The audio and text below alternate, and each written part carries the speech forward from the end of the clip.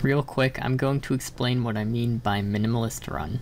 Basically, I'm going to beat every boss in the game over the course of this series with the lowest number of max health increases, magic circles, toad cheering, items, accessories, and guards. I'm going to prioritize not using them in the order they were listed above, so if I can avoid using a magic circle by guarding, that will be a win by my rules.